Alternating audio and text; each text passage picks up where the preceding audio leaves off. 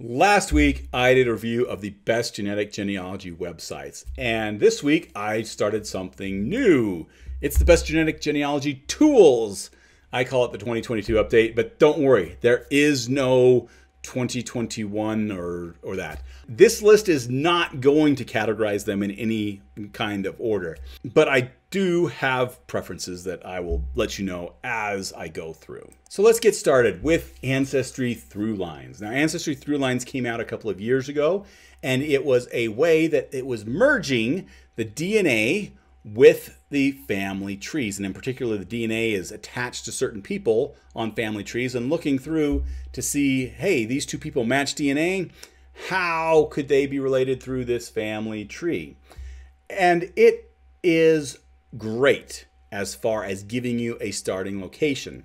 Recognize that the through lines are based simply on the fact that somebody shows up in your family tree and you share DNA with that one of their descendants that doesn't necessarily mean that all the through lines are correct. You still need to go through and research them. But this is a great starting point of where to focus your research. Rather than looking at all of your lines, you know exactly where to be looking between you and your match. Now, another great tool similar to ThruLines is on MyHeritage. It is the theory of family relativity.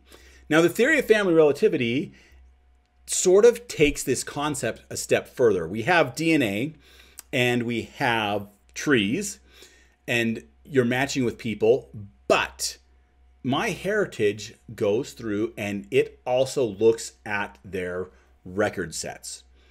So it might be that you you and this other person don't share somebody on your family tree.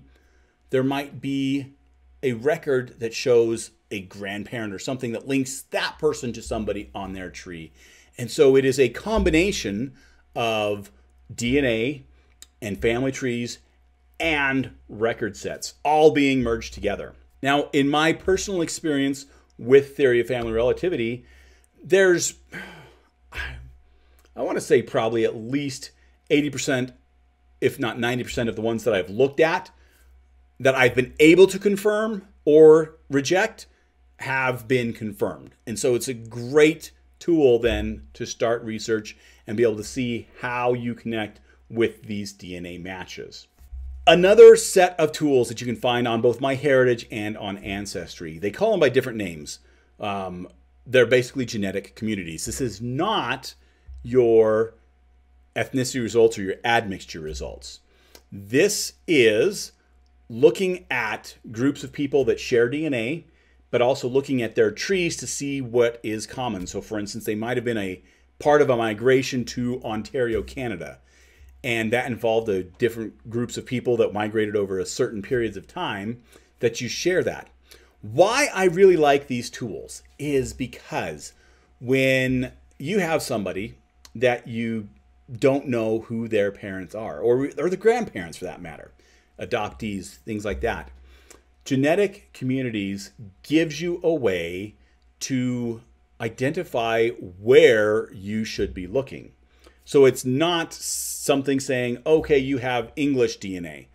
Well, no, this is more specific saying, oh, you have DNA from this group of people that happened to have migrated from England over to the Ohio Valley in the mid 1800s.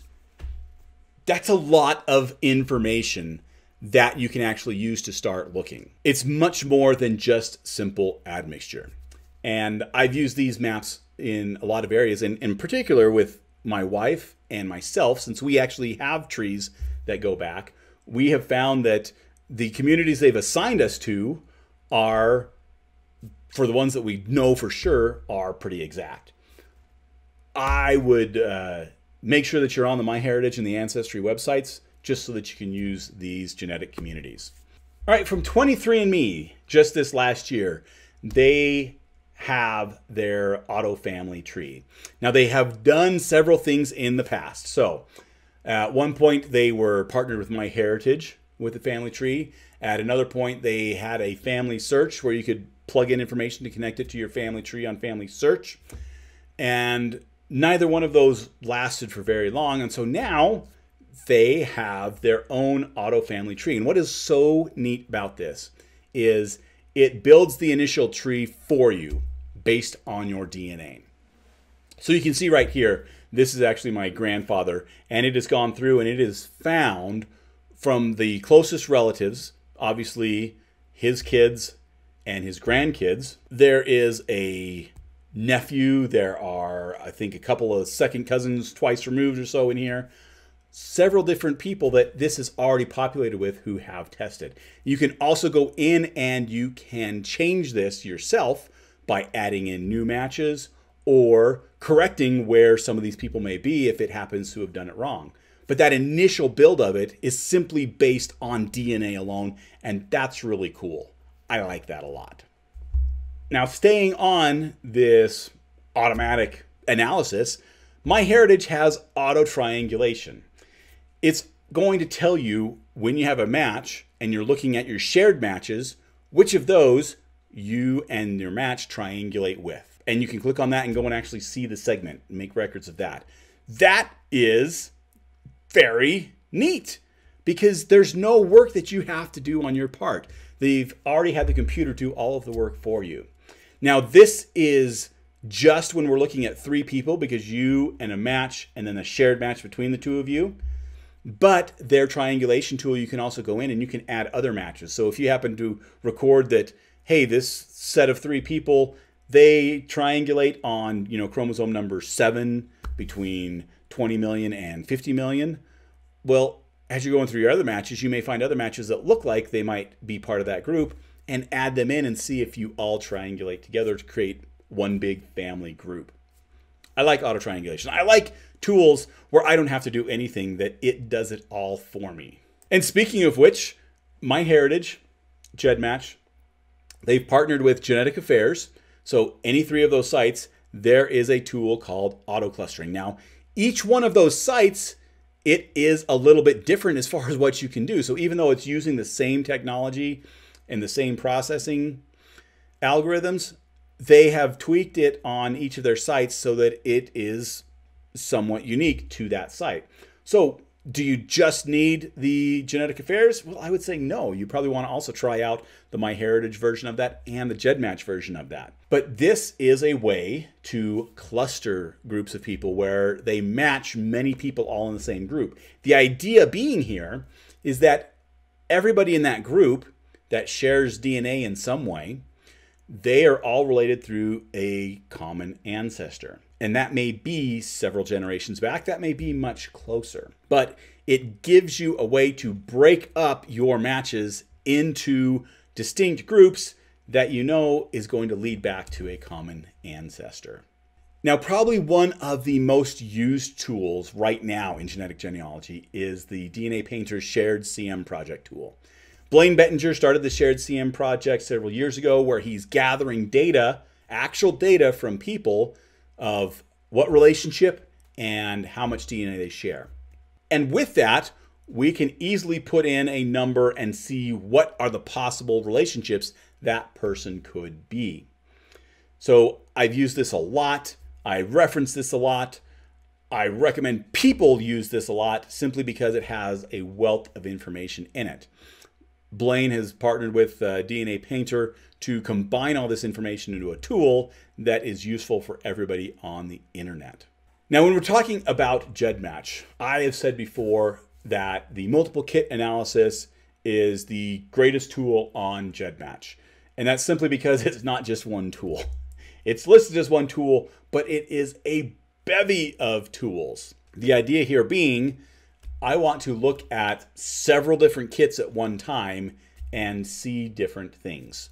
And there's any number of things that you can see. You can see how much DNA all of those kits share with each other. You can see what triangulated segments there are between all of those kits. Well, you could see all of those kits on a chromosome browser to see which segments they all match. It is innumerable the number of things that you can do with the multiple kit analysis. And the idea that you're not just looking at two kits or even three kits, which many tools on other websites allow you to look at two kits or even three kits together.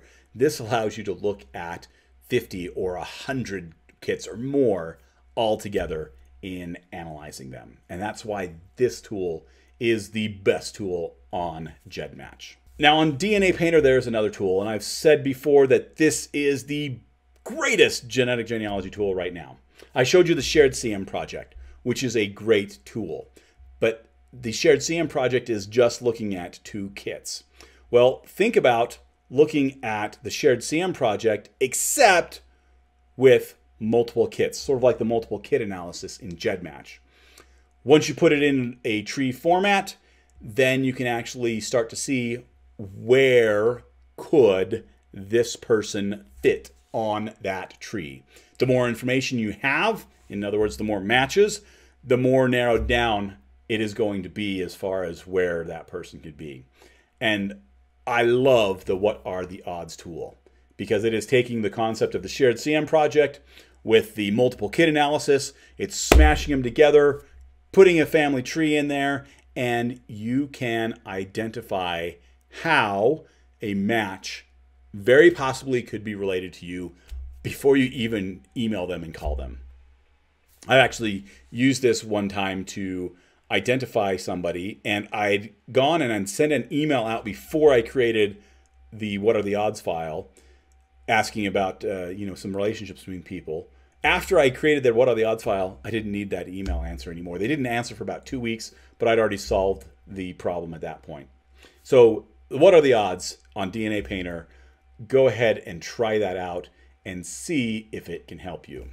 In the meantime, if you want to know the order that I would recommend on GEDmatch for the first tools to use, then watch this video up here.